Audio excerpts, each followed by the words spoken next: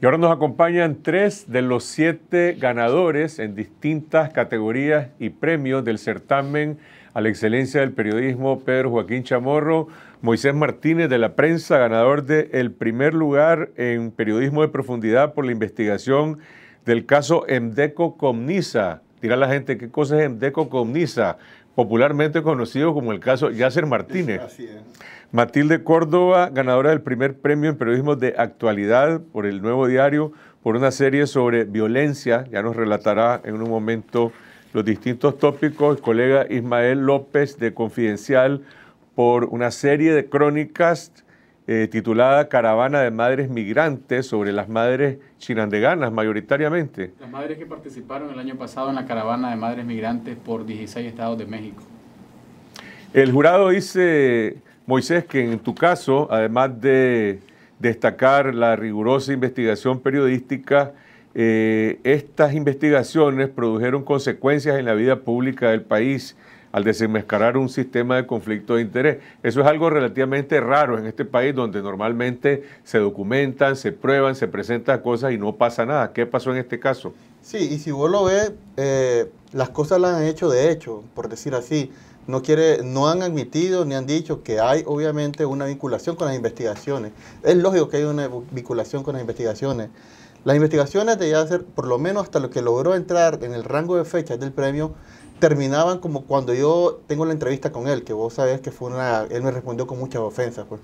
Sin embargo, con el tiempo han habido consecuencias. ¿Cuál es el rol de él en esas dos empresas? Él está vinculado en ella. Él aparece no como accionista, sino como parte de esas empresas o por medio de su hermano. Él tiene una vinculación familiar con esas empresas, ¿no? Y él va a esas empresas. Eh, o sea, yo lo que obviamente estimo es que eh, los que están allí son unos prestanombres, pues, a los verdaderos intereses que son los de él, pues.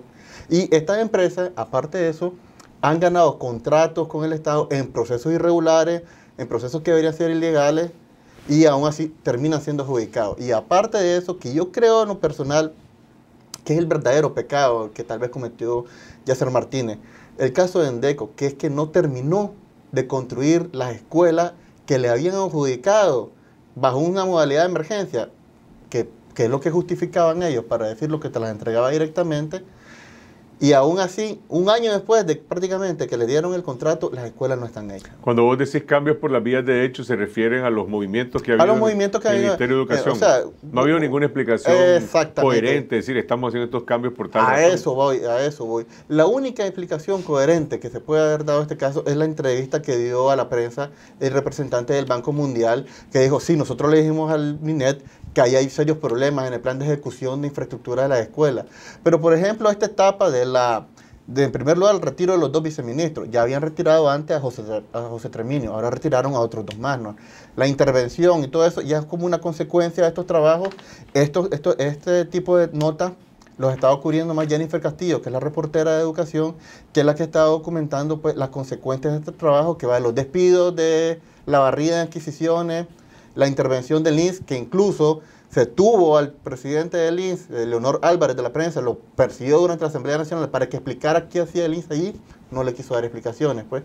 El, el, este, Miguel de Castilla, que es el asesor en temas educativos, tampoco quiso dar explicaciones. Pues. O sea, las cosas se están dando solamente, pero, no hay una explicación oficial. No hay duda, pues, que el eco de, este, de esta investigación que dirigiste vos y otros colegas tuyos en la prensa, pues, ha tenido ese tipo de, de repercusiones y secuelas. Eh, Matilde, tu trabajo en el Nuevo Diario es una serie de distintos reportajes y crónicas sobre situaciones de violencia, violencia contra mujeres, violencia contra qué tipo de... Son cuatro reportajes que fueron publicados en distintos, distintas semanas, en tres meses, a lo largo de tres meses, y lo que reflejan es la cultura de violencia que se ve en Nicaragua. Uno de ellos es la violencia contra la comunidad LGBTI y es el testimonio de un trans que a quien golpearon. Entonces lo que documenta es ese reportaje, cómo sufren este, los, gays, lesbianas, travestis y cuál es la situación de ellos en la actualidad en Nicaragua. Eh, la discriminación que sufren y hay, violencia sexual, física, económica, de todo tipo, patrimonial. Otro de los reportajes revela la otra cara de los femicidios, que son los huérfanos los huérfanos, los niños que quedan después de que el papá mató a la mamá o que simplemente algún otro hombre mató a la mamá y está preso. El tercero es sobre las mujeres, se, ve como violencia de género, las mujeres que ingresan con droga en sus partes a los penales y, y quedan presas después, pero, pero son a veces obligadas por sus parejas o, o es simple, se ve como violencia de género porque no tienen dinero y les ofrecen eso a cambio de dinero a cambio de que entren a los penales con droga. Entonces son varios testimonios de mujeres que están presas o que están en el proceso y de sus familiares. ¿Cuál Y- es tu, tu papel como periodista al hacer estas crónicas? ¿Es relatar el punto de vista de la víctima? ¿Es eh, presentarte como su, digamos, promotora, defensora o, o simplemente narras los hechos? El último, el último reportaje es justamente eso, es dónde está, dónde es el origen de la, cul- de la cultura de violencia, es decir, ¿por qué los hombres son violentos? Porque son los hombres los que usualmente son más violentos. Entonces el último reportaje busca eso, explicar qué es una conducta aprendida y que el- cómo lo, aprendes en la niñez, entonces cómo es que se transmite la violencia, el niño que golpea o el niño que le enseña ciertas conductas machistas y, e incluso la última, la última entrega es, una, es retratar cómo los hombres también sufren violencia. Y entonces varios psicólogos y especialistas e incluso varios testimonios explican eh, cómo desde el, desde el simple hecho de que enseñarle a los niños que se, se disfruta un, cumpleaños o cualquier cosa dándole una piñata, golpeando, entonces es una forma de ir transmitiendo desde pequeño la violencia. Ese es el último trabajo. Yo no me presento como una representante de las víctimas, yo muestro la realidad y lo que intenté es tomar distancia en todos los trabajos, pero reflejando la realidad. Por ejemplo, en el de la comunidad de gays, travestis, eh, trans, lesbianas, entrevisté a más de 20 personas, a favor en contra, a la procuradora de la diversidad sexual, a todas las organizaciones de lesbianas, de gays, a todos. Y, y lo que se busca es reflejar, retratar la violencia desde, desde sus distintos ámbitos. Pues. En tu caso, Ismael, el, premio que se te otorga a la inmediatez noticiosa, eh, cubriendo cuántos días en este recorrido de esta caravana de madres chirandeganas que iban por México y. Centroamérica. La caravana duró 16 o 17 días. Eh, salimos de Nicaragua el 28 de, de noviembre, se entró a México el 1 de diciembre y luego se salió el 16, pues entonces más o menos eran unos 14, 15, 16 días. La, el jurado le otorgó el premio a, a la serie de, de pequeñas crónicas, en realidad fueron 13 o 14, publicadas casi diarios, no solamente los días en que por problemas de internet no se pudo mandar. Se no publicó publicó. exclusivamente en Confidencial como medio digital. En Confidencial Digital hay un especial que se llama Caravana Madres Migrantes y ahí están reunidos todos los textos. Entonces lo que se trató, lo que, se, lo que hicimos fue eh, ir relatando un poquito de las historias de cada una de las madres nicaragüenses que, viajaba, que viajaron ¿no? el año pasado para buscar a sus hijos perdidos cuando intentaban llegar a Estados Unidos, perdidos en México. Y este, aparte de eso también se abordó eh, problemática de otras madres centroamericanas, porque en la caravana participan madres nicaragüenses, hondureñas, salvadoreñas y guatemaltecas.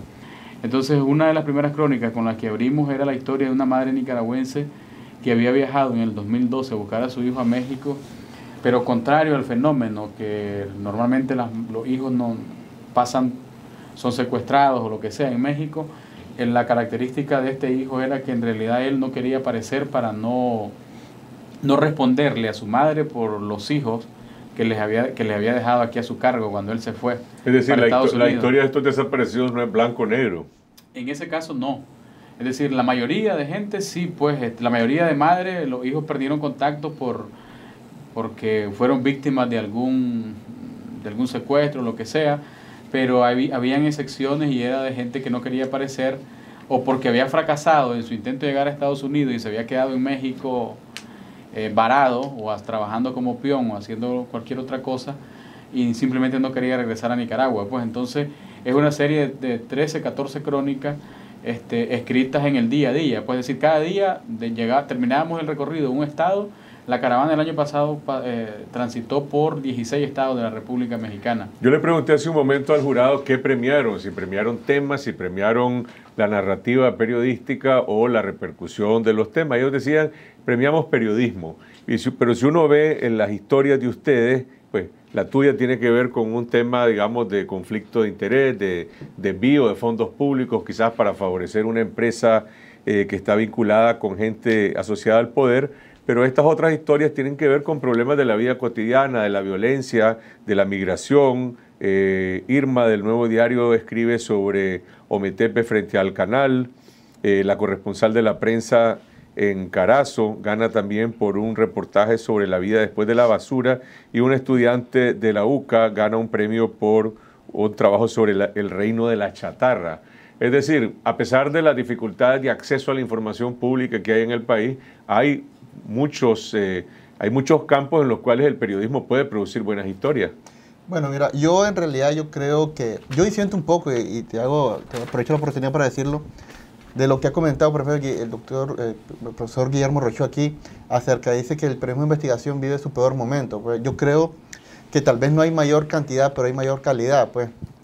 Porque yo creo que los periodistas e investigadores de ahora, enfrentando todas estas restricciones informativas, tratan de sostener el rigor que debe tener todo un reportaje, pues, a pesar de las restricciones informativas que todos sabemos. O sea, todo todo trabajo de este tipo tiene que tener rigor, documentación, contrastar fuentes, cruzar datos. Yo creo que la mejor manera de enfrentar esa barrera a la que vos te mencionás es siendo riguroso. Porque si uno es riguroso, siempre hay, digamos, como salidas que te permiten obtener información que a simple vista te la deberían de entregar, pero que no te la dan por las restricciones que hay. Por ejemplo, en términos rápidamente, la Contraloría General de la República tenía el, proceso que adjudicaba el mayor contrato, el de las escuelas en DECO. A pesar de ser un documento público, yo sabía que lo tenían, los mismos contralores me lo confirmaron, pero no me lo quisieron dar. Sin embargo, al saber que el documento existía, yo busqué otras alternativas de conseguirlo. Pues. Me costó bastante, pero al final tuvimos acceso.